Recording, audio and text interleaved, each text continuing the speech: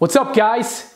I'm Randy and today we're gonna to be doing a flavored chili oil. The chili oil we're doing here is amazing for all sorts of salad dressings, for cooking, and as well, it'll sit in your fridge for 30 to 90 days. We got five or six dried chilies.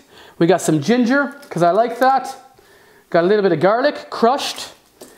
And then we're gonna put roughly about 750 ml water, or whatever fits in your bottle that you're using at the time. So right now, we wanna heat this up. And what this is doing is we want to seep. We don't wanna be cooking it or browning it. Bring it up to about, we'll say 40 degrees.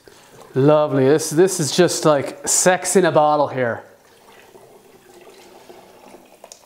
And as you can see, we got a little bit stuck there, but not a bother. We poked that out, Great, so now that we got the oil in the bottle, we're ready to go. We're gonna let this cool down for probably about a half an hour to an hour, or when it's good to the touch, you're gonna wanna keep it in a dark place or the fridge. This is gonna help it maintain its, its flavors and get you a little bit more life out of it from 30 to 90 days. Give it a try at home. Let me know how it goes. Give it a comment below.